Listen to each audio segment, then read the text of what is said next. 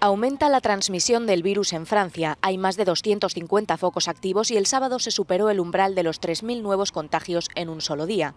Ante este empeoramiento de la situación, las autoridades han reforzado el dispositivo de prevención. París y Marsella ya se consideran zonas de circulación activa del virus y en ellas se obliga al uso de mascarillas en los barrios de tráfico intenso.